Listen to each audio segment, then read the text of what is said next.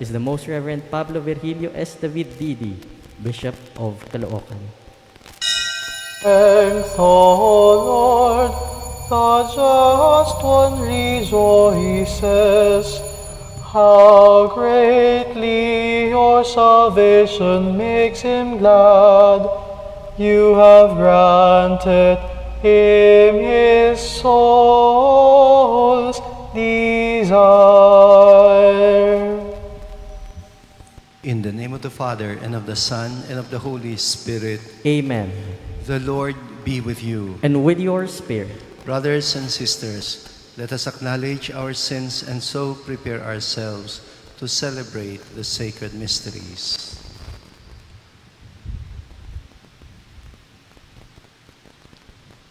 You were sent to heal the contrite of heart. Lord, have mercy. Lord, have mercy. You came to call sinners. Christ, have mercy. Christ, have mercy. You are seated at the right hand of the Father to intercede for us. Lord, have mercy. Lord, have mercy. May Almighty God have mercy on us, forgive us our sins, and bring us to everlasting life. Amen. Let us pray.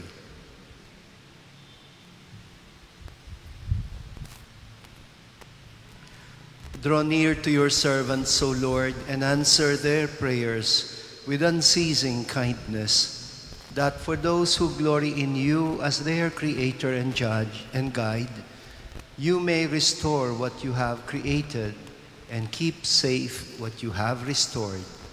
Through our Lord Jesus Christ, your Son, who lives and reigns with you in the unity of the Holy Spirit, one God, forever and ever. Amen. A reading from the book of the prophet Nahum. See, upon the mountains there advances the bearer of good news, announcing peace. Celebrate your feast, O Judah. Fulfill your vows, for nevermore shall you be invaded by the scoundrel. He is completely destroyed. The Lord will restore the vine of Jacob, the pride of Israel. Though ravagers have ravaged them and ruined the tendrils. Woe to the bloody city, all lies, full of plunder, whose looting never stops. The crack of the whip, the rumbling sounds of wheels, horses a gallop, chariots bounding, cavalry charging, the flame of the sword, the flash of the spear, the many slain, the heaping corpses, the endless bodies to stumble upon. I will cast filth upon you, disgrace you, and put you to shame till everyone who sees you runs from you, saying, Nineveh is destroyed. Who can pity her? Where can one find any to console her? The word of the Lord. Thanks be to God. It is I who, do, who deal death and give life. It is I who deal death and give life. Close at hand is the day of their disaster, and their doom is rushing upon them. Surely the Lord shall do justice for his people. On his servants he shall have pity. It is I who deal death and give life. Learn then that I, I alone am God, and there is no God besides me. It is I who bring both death and life. I inflict wounds and heal them. It is I who deal death and give life.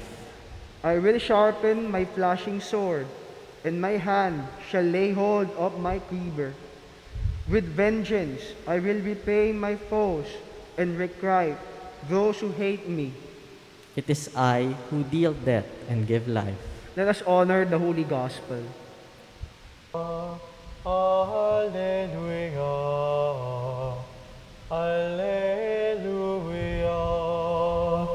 Blessed are they who are persecuted for the sake of righteousness, for theirs is the kingdom of heaven. Alleluia. Alleluia. Alleluia. The Lord be with uh, you. And with your spirit, A reading from the Holy Gospel according to Matthew. glory to you, O Lord.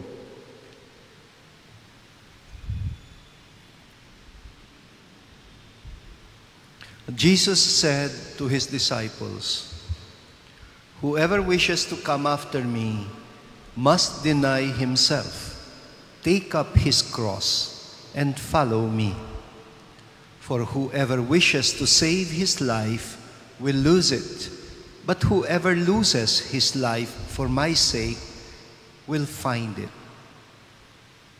What profit would there be for one to gain the whole world and forfeit his life? Or what can one give in exchange for his life? For the Son of Man will come with his angels in his glory, and then he will repay each according to his conduct. Amen, I say to you. There are some standing here who will not taste death until they see the Son of Man coming in his kingdom. The Gospel of the Lord. Praise to you, Lord Jesus Christ.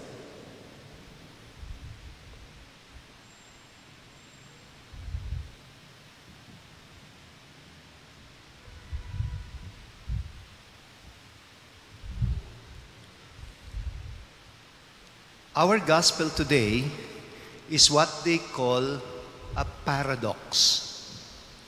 I checked the meaning in the dictionary and I found this definition.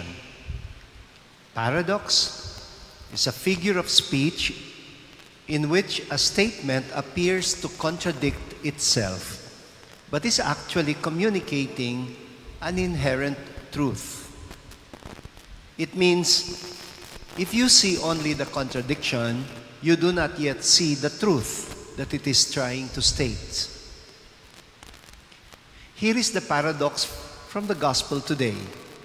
Jesus says, The one who saves his life will lose it, while the one who loses his life will save it.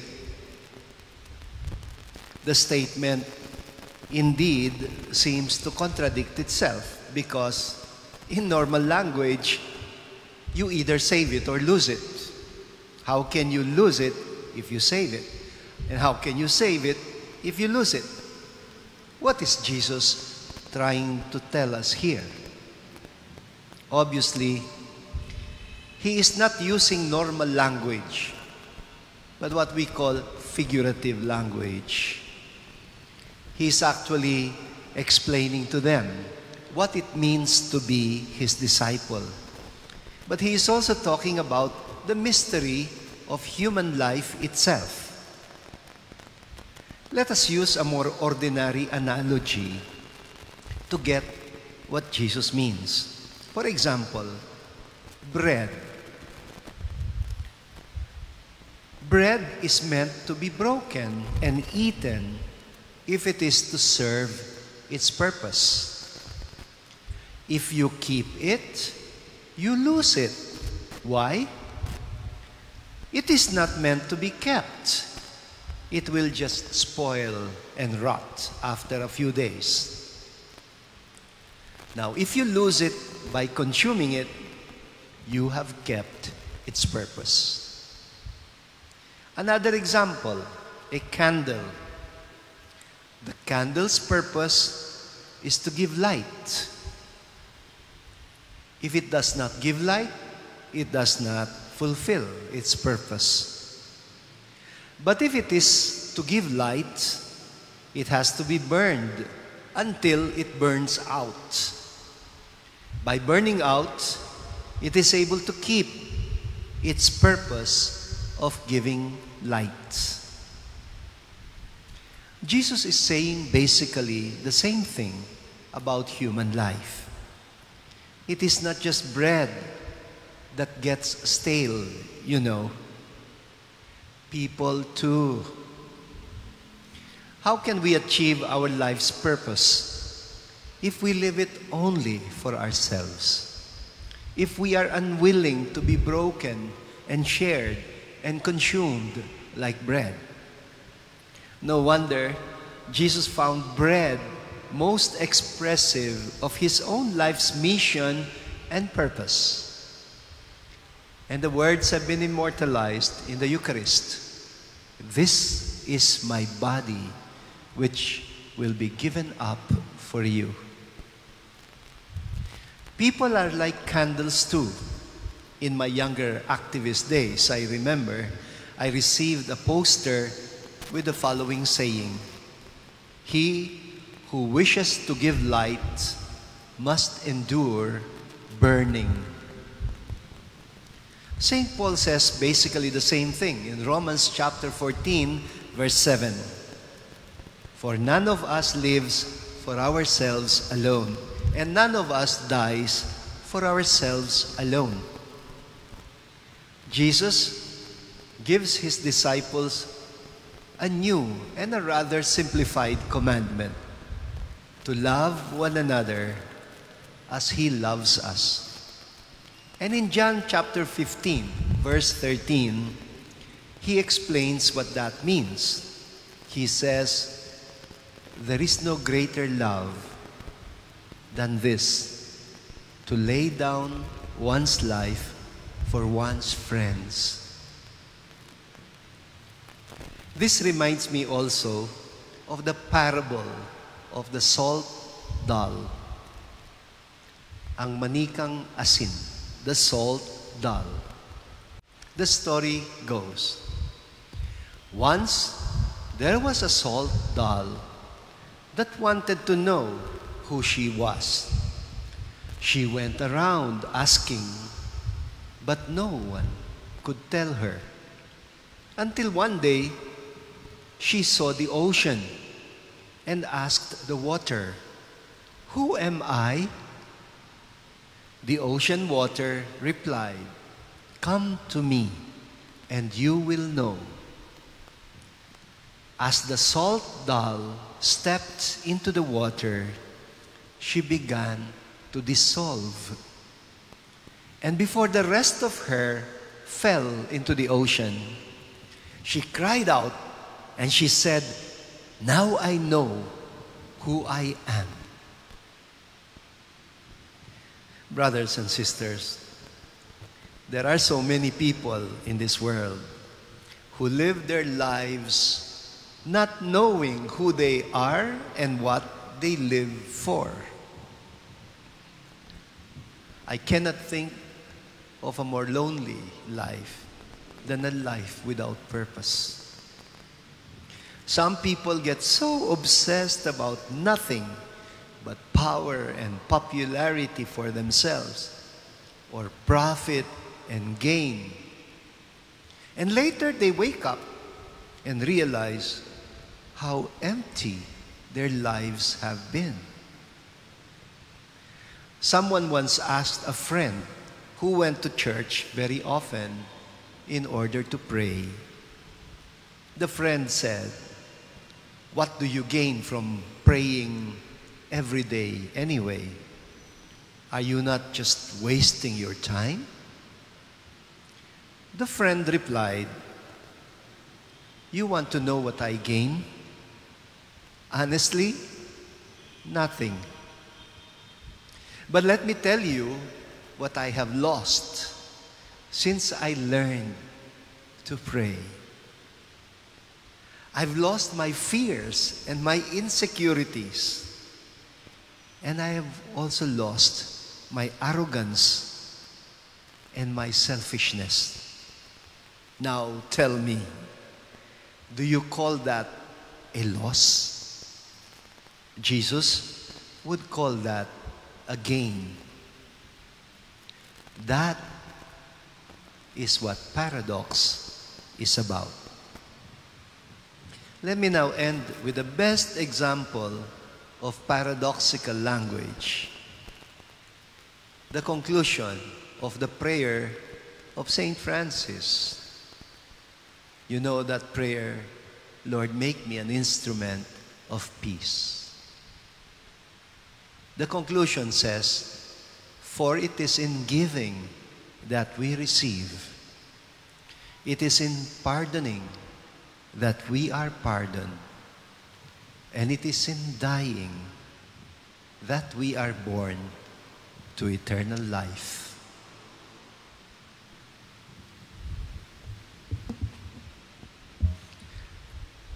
Let us now take up the cross of Christ each day as we walk in the footsteps of the Master. Let us call to God for the needs of our community and cast off the selfishness that keeps us apart from the Lord. In confidence, let us pray, Lord, give strength to your people. Lord, give strength to your people. that the Pope and our bishops may carry the cross of pastoral care and responsibility with selfless sacrifice. Let us pray to the Lord Lord, give strength to your people. That those who accepted the burden of public office may grow in the love of God through their responsible, sincere, and honest exercise of their duties. Let us pray to the Lord. Lord, give strength to your people. that we may give wholehearted support in upholding the truth and in opposing the subtle influences of evil. Let us pray to the Lord Lord, give strength to your people. that all Christians may find inspiration in the life and virtues of San Roque in selflessly tending to the needs of others, especially in times of crisis. Let us pray to the Lord Lord, give strength to your people. that the sick may find strength in the Lord, that in the midst of their illness they may unite their sacrifice to the cross of Christ. Let us pray to the Lord Lord, give strength to your people. that those who suffered and died in faith may gain their heavenly reward. Let us pray to the Lord. Lord, give strength to your people.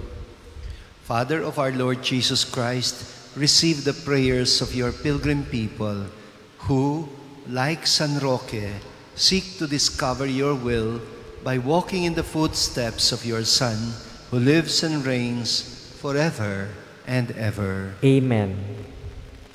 Your table with humble hearts, O Lord, the bread and wine, the fruits of the land and of the vine, transformed beneath the hands of your chosen priest, behold, we shall receive with open hearts eternal life bestowed.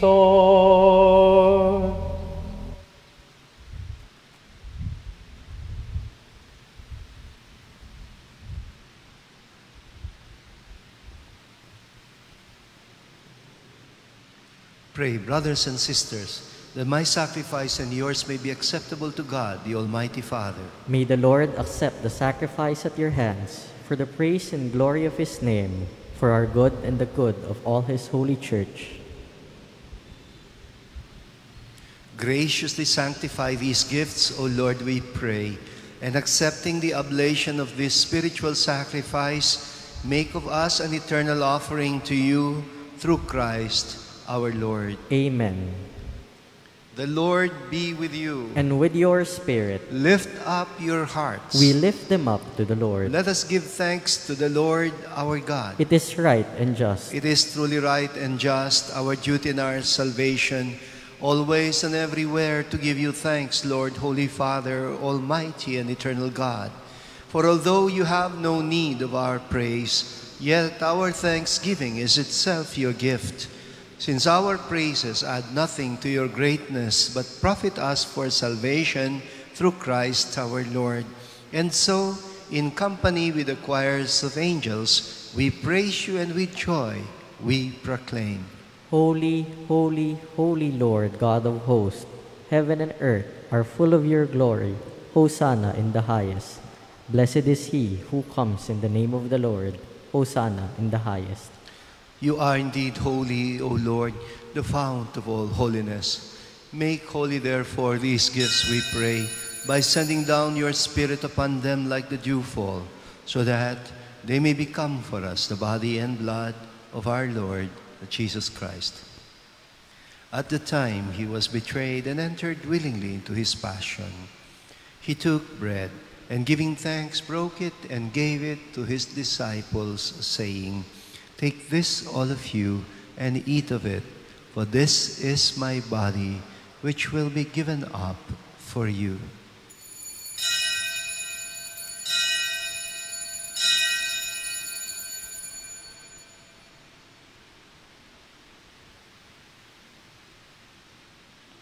In a similar way, when supper was ended, he took the chalice, and once more giving thanks, he gave it to his disciples, saying, Take this, all of you, and drink from it, for this is the chalice of my blood, the blood of the new and eternal covenant, which will be poured out for you and for many for the forgiveness of sins. Do this in memory of me.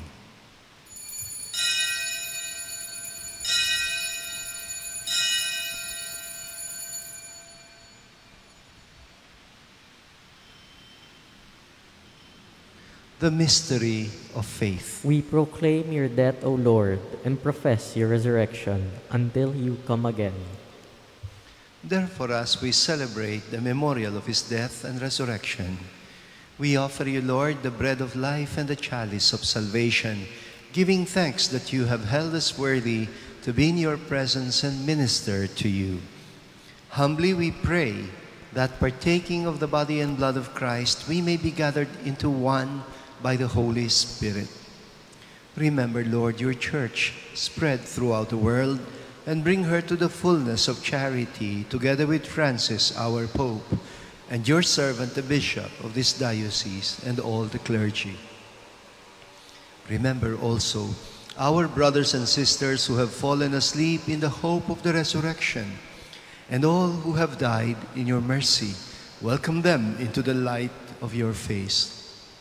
Have mercy on us all, we pray, that with the Blessed Virgin Mary, Mother of God, with Blessed Joseph, her spouse, with the blessed apostles, and with our patron saint San Roque, and all the saints who have pleased you throughout the ages, we may merit to be co-heirs to eternal life and may praise and glorify you through your Son, Jesus Christ.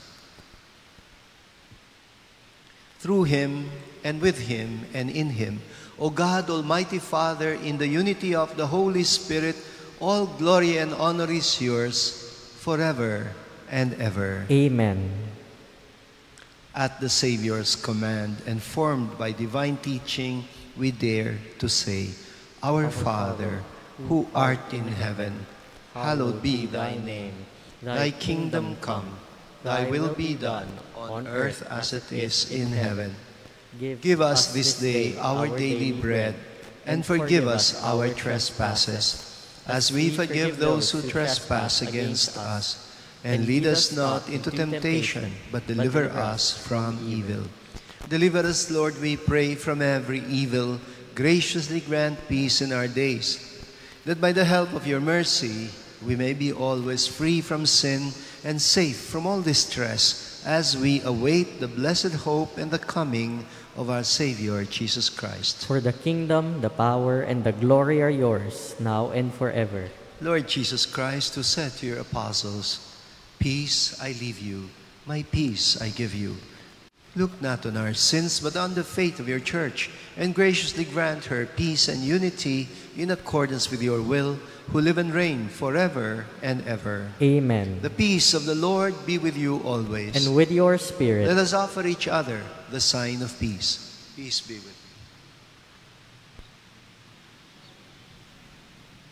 you. Lamb of God, Lamb of God, you, take, away the sins of the world. have mercy on us. Lamb of God, you take away the sins of the world, have mercy on us. Lamb of God, you take away the sins of the world, grant us peace.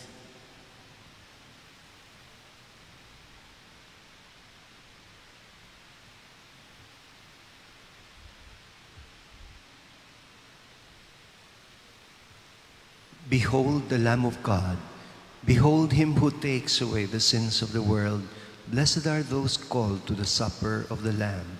Lord, I am not worthy that you should enter under my roof, but only say the word, and my soul shall be healed.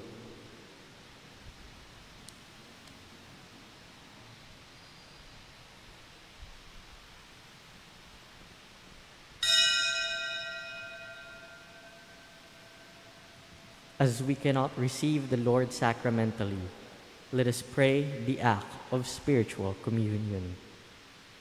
Lord Jesus, you are the bread of life. Whoever eats this bread will live forever. I love you and desire to receive you in Holy Communion. At this moment, I cannot receive you in the sacrament of the Holy Eucharist. Come then spiritually and dwell in my heart. I embrace you and unite myself totally to you. May I never be separated from you. Amen.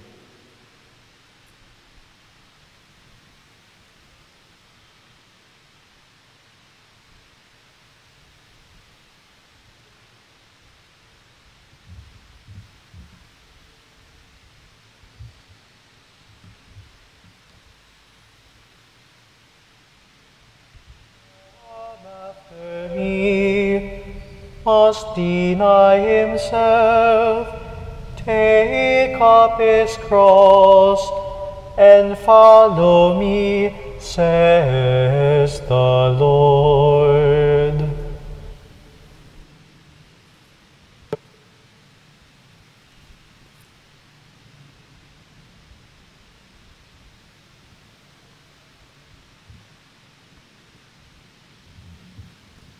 Let us pray. Accompany with constant protection, O Lord, those you renew with these heavenly gifts, and in your eh, never failing care for them, make them worthy of eternal redemption through Christ our Lord. Amen. Oratio Imperata. God, our Father, we come to you in our need to ask your protection against the COVID 19 that has disturbed and even claimed lives. We pray that you guide the people tasked to find cures for this disease and to stem its transmission. Protect the medical experts that they may minister to the sick with competence and compassion. We pray for those afflicted. May they be restored to health soon. Protect those who care for them. Grant eternal rest to those who have died. Give us the grace in this trying time to work for the good of all and to help those in need. We implore you to stop the spread of this virus and to save us from our fears. Grant all these to our Lord Jesus Christ, your Son, who lives and reigns with you in the unity of the Holy Spirit, one God, forever and ever. Amen. We fly to your protection, O Holy Mother of God. Do not despise our petition in our necessities, but deliver us always from all dangers, O glorious and blessed Virgin. Amen. Our Lady Health of the Sick, Pray for us. Saint Raphael the Archangel, Pray for us. San Roque, Pray for us. San Lorenzo Ruiz, Pray for us. San Pedro Calungsod. Pray for us. The Lord be with you. And with your spirit, And may Almighty God bless you, the Father, and the Son, and the Holy Spirit. Amen. We will now have a special blessing with the relic as we observe these days of preparation for the feast day of our beloved patron saint of the Diocese of Caloocan, San Roque. We ask the Lord to bless us and our families, especially those who are sick and those in the front lines in the battle against the pandemic through his intercession. Through the intercession of San Roque, may Almighty God bless you, the Father, the Son, and the Holy Spirit. Amen. Go forth, the Mass is ended. Thanks be to God.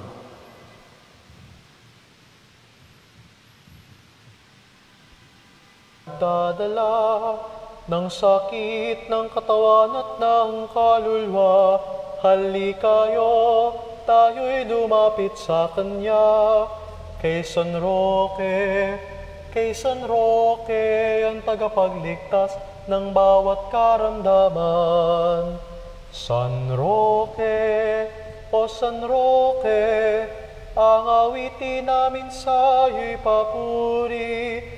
San Roque, o San Roque, sa gitna ng dusay kawang pintakasi. San Roque, o San Roque, ang awitin namin sa'yo'y papuri. San Roque, o San Roque, sa gitna ng dusay kawang pintakasi.